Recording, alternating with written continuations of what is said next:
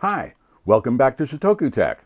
I just did a headless install of Raspberry Pi OS Lite on my Raspberry Pi Zero 2W, and then I installed this MQTT broker with a web management interface using the Cedalo platform. And now we're going to check out Streamsheets that's also installed with that Cedalo platform. You can do cool stuff like building up visuals in a spreadsheet type application that respond to your MQTT topics sent by your IoT devices. So let's check out stream sheets. The Cedalo website's very thorough, and they, Cedalo has their own YouTube channel as well. Their videos, they're very smart folks, and their videos go a little fast. So I'm going to break it down a lot simpler. I'm going to show you how to build the MQTT connector and how to get started with very simple functions and a very simple graph. And we're going to build on what we did with the MQTT broker and these two M5 stack core IoT units. Okay, so I'm launching Streamsheets for the first time. That's at my IP address 192.168.1.71. And this is port 8081. And you want to read the five-page license agreement. You have to go through each page. Then you hit Next. You can accept the license agreement. Then you hit Next. You can register for the newsletter. I already did. This is my second run. I actually rebuilt the entire Raspberry Pi Zero 2W so I could show you the license agreement. I already went through all this. Yeah. So here we're logging in. The default admin password's 1234. That's all in the document from the previous video. Okay, and there's a couple sample applications in here already, wind turbine and wind turbine dashboard. And like I say, we're going to adapt our MQTT implementation. Yeah, see, I had to add this parent topic. Shotoku Tech is the parent node of Core A and Core B. You need a topical hierarchy to be compatible with stream sheets. Oh, there's an alarm oh, the connectors have been refused, not authorized. That's because I know I already changed the stream sheet's password here in the Mosquitto Management Console. So we're going to go into the apps, into the streams, go to the MQTT connector. Let's go ahead and hit edit. And I'm going to update the password here.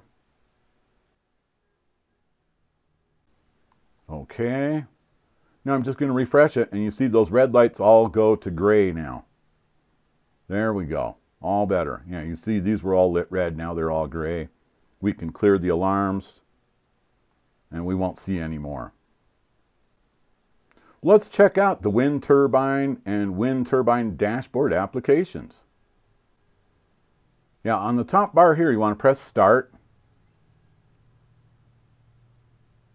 This is pretty cool. This, this is a simulated wind turbine and it's actually sending simulated wind turbine data. You see now there's a Cedalo topic with power plant, plants, windmill, child topics. And you can see over here the data is in a JSON format flashing by from the wind turbine. Okay, so now we're going to go to the wind turbine dashboard app. And you see this window here is where the MQTT consumer Yeah, see, there's the MQTT consumer power plant plants windmill. And the windmill dashboard app is based on that MQTT provider. So there's the wind data, and then down below is the payload in this section on the lower left. When we hit start, you'll see the data start coming in. You got power, the angle, degrees, angles and radians, and the speed. So it's starting to graph the power that's being generated by that simulated wind turbine.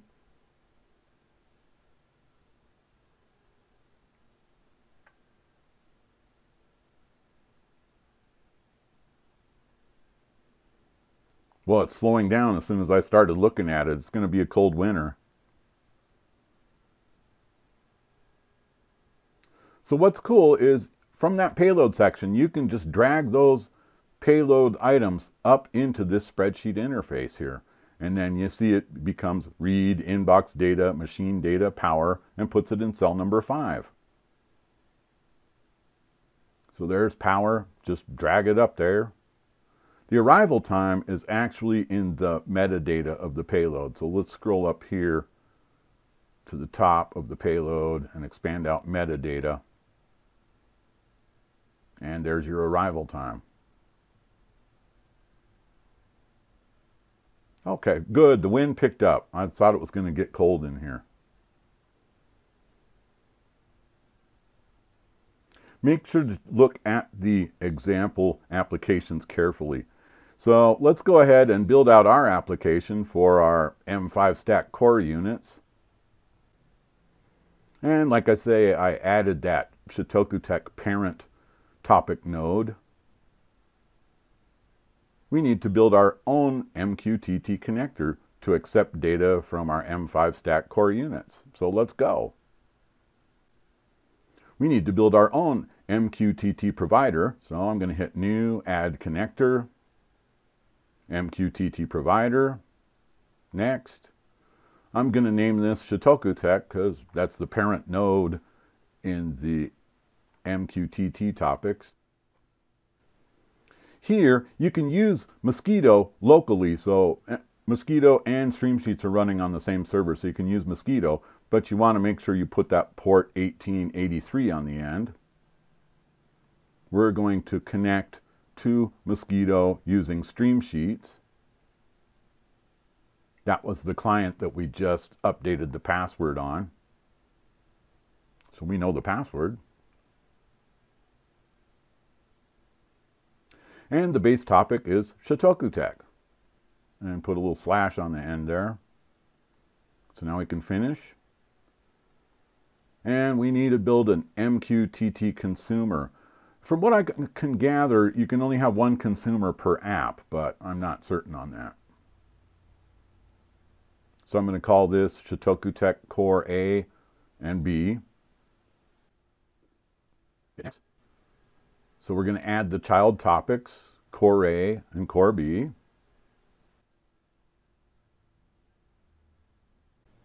There we go. Now we're ready to build an application.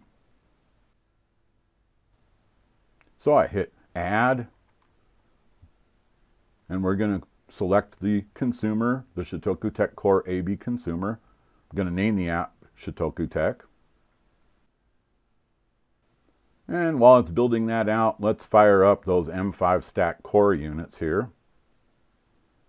Trying to send data, but oops, I forgot to start the app. So even though it's blank, you want to start it so that you can begin to gather MQTT data from your MQTT consumer.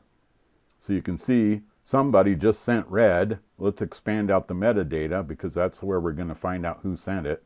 Yeah, core B just sent red. Core A just sent green. You got the arrival time, the source, and the value. So I'm going to drag arrival time out here.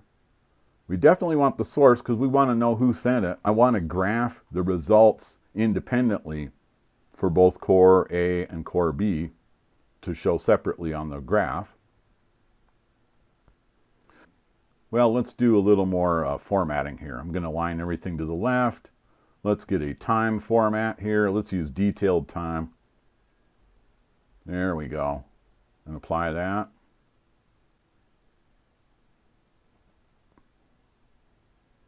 Send some more data just for fun. This is really fun, I tell you. Okay, a little more housekeeping here. Let's put a border there. Now, like I say, we're going to separate the data. We want to separate out when core A sends a signal and separate out when core B sends a signal. And we want to determine whether it was green or red. And then we need to come up with some kind of function that will make this something we can graph. So I'm thinking we'll turn green into 1 and red into minus 1. So we'll use this switch function. Here's an example of the great documentation on the Cedalo website for stream sheets. There we go. If Shotoku Tech Core A, then switch the result of B4, green equals 1, red equals minus 1, and default to 0. There we go. We send that. Core A sent red, you get a minus 1. Okay, let's repeat that for Core B. If Shotoku Tech Core B, then switch green to 1 and red to minus 1 and default to 0. You had to default to 0 because you don't want to try to graph a non-number. like, you know, where do you graph NA? Now let's do a little color formatting. I want to fill the core A square with blue because I know that's what the legend of the graph is going to show for core A. And I'm going to fill the core B cell with red because that's how it's going to show up on the legend. So we used a simple if statement and a switch statement to separate the core A and core B data. This other function here, this time aggregate, you need that to be able to graph values over a period of time. And you really have to learn that by looking at the wind turbine dashboard example application.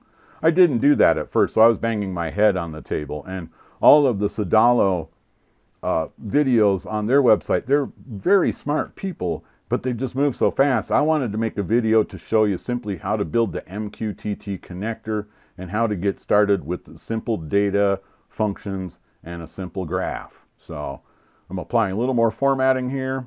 We want to send some data because you see true. There we go. Okay.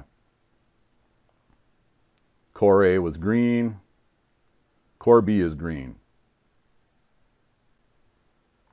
And so we'll get ones and minus ones from core A and core B, and we can use this line chart visual here. I've selected that block, core A and core B, and the data, and the line chart's just really going to sense what I want to do based on what I have selected here. So you see core A and B in the legend. Let's send some data. We got some lines coming in here already on the graph. And it's going to aggregate over time, so we'll be able to see the data over a period of time in the graph. Now, I'm just going to rationalize the y-axis here. I'm going to set the minimum to negative 2 and the maximum to 2 and use 1 for the step. So that sort of rationalizes that axis a little better. And on the x-axis along the bottom here, I want to rotate the labels so we can cram them together if we need to.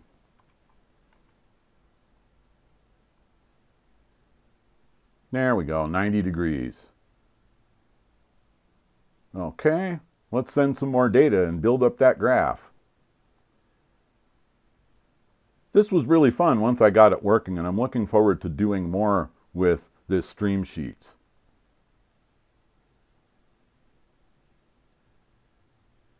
Core B says green. Core B says red. Core A says red. Core A says green.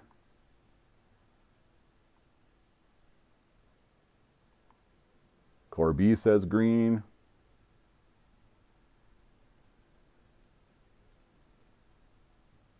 Oh, and I didn't even get to tell you that you can actually publish topics from your stream sheet and it will appear in this outbox. So you can not only take data in and visualize it, but you can also send it out. So I hope you enjoyed this simple example of how to use stream sheets and that you might consider it for yourself. And before you go on to check out my IoT playlist, please leave a comment down below, give this video a like, and before you go, please click on subscribe. Thank you very much.